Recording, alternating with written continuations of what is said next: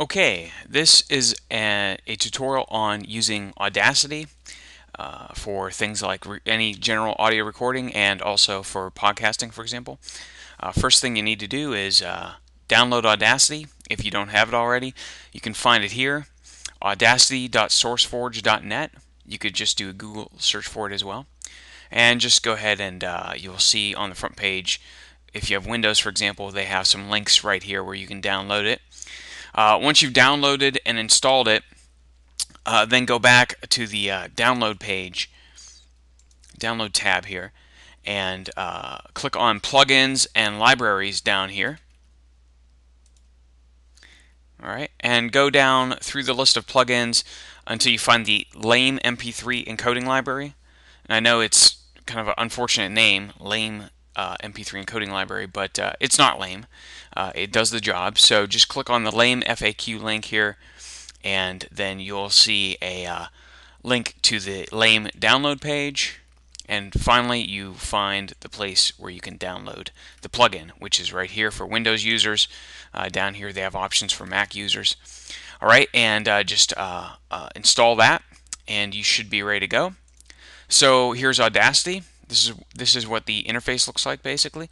I'll kind of stretch it out here so you can see more of what it looks like. Okay, let me put it back so we can fit it all onto one screen here. Okay, so as you can see here, you have some editing controls, you have your playback and record controls, you have your um, levels for your uh, volume going out and your levels for your volume coming in from your microphone or whatever you're using. Uh, also, you can see those here. Uh, you can change, this is just for reading the levels, and this is for changing the level. Uh, the level of output and the level of recording input, okay? And over here, you will see the device that you're recording from. So you could, for example, choose uh, something other than a microphone to record from. All right, and then down here is going to be the place where your audio is recorded. So let's just go ahead and record some audio. Just simply hit the record button, and you will see that uh, the audio starts recording. All right, and uh, everything's going fine. All right, so once you record enough audio and you like it, uh, just hit stop. And then you can, you can go ahead through here and uh, you can go ahead and uh, play through the audio file. All right, so if you're happy with that, for example, um, you could go ahead and just go to File and Export as MP3. Uh, definitely, if you're doing a podcast, you want to export as an MP3 file. All right, if you want to edit this uh, this file, if there's different things you don't like about it, there's uh, many ways you can go about doing that. Um, up here are the standard editing tools.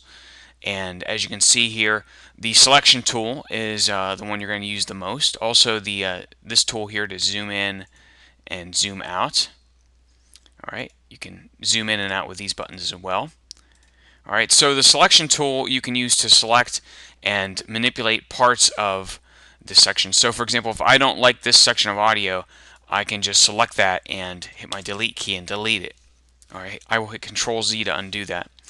Or if I wanted to, to for example, um, add a, a filter to just that part of it, and in effect, I could uh, add the, for example, echo effect to just that part that's selected. Uh, I could hit Control A to select the entire section that has audio, and then I could apply the effect to the entire section. All right. Uh, another thing that is nice to have here is the next tool, which is this uh, envelope tool. And as you can see here, by clicking in here, you can create an envelope and you can expand the uh, volume of just those sections. So for example, I can just click in here. If one person, for example, is talking and that person's very loud, we can squish them down. And then if another person is talking here and that person is a bit low, we can um, stretch their, their volume out. So we have uh, quite a lot of control over the volume of the clip on a uh, section by section basis. And uh, so we've got this. Um, we want to if we wanted to save all this and come back to it later and edit it some more uh, we would have to save the project file save project as or save project. Because if we just go ahead and export as a WAV file or an MP3 file We're just going to get the sound. We're not going to get any of this uh, stuff that we can ma manipulate later. All right. Another thing that uh, you might want to do is apply an effect, and um, the most common effect you're probably going to want to do uh, for your own recordings of dialogue, for example, would be the noise removal effect. Uh, to use this, let me go ahead and zoom in here a little bit. Zoom in a little bit more.